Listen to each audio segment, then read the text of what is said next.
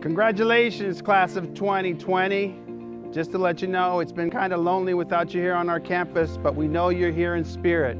Please continue to practice perseverance and resiliency. We're very proud of you. Go Chargers!